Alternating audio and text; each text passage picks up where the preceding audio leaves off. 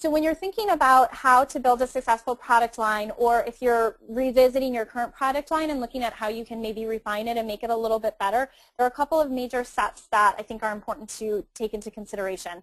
One, you want to establish a workflow and a plan. Two, you want to create a product line that fits your business. Three, you want to figure out how to price your product line for profitability. And four, you want to create a workable sales environment. And by workable, what I mean is a sales model that fits your lifestyle, your time, and your location. So again, we're not necessarily talking about a sales room or a studio you know, location face-to-face -face with clients. And we're going to talk about that a little bit more later on. So looking at these a little bit closer, establishing your workflow. A couple of things to consider. Before you start developing your new product line or refine, refining the current product line you ask, there are definitely a couple of questions that it's a good idea to ask yourself. Do you want to sell in person or do you want to use another method?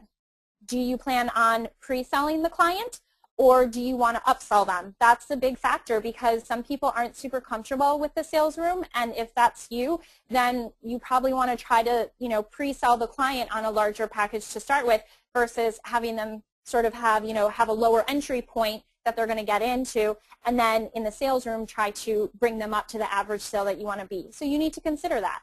You also need to think about if you want to go the structure of packages versus a la carte because there's pros and cons to both and depending on your personality and your style of sales, um, one's probably going to be more successful for you. Um, are you going to ship, deliver, or have your clients pick up their orders?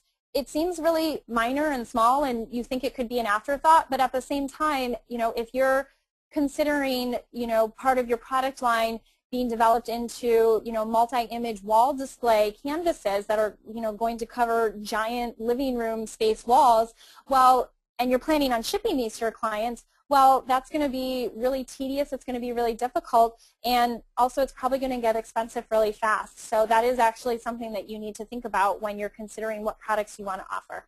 And then what's a realistic turnaround time frame?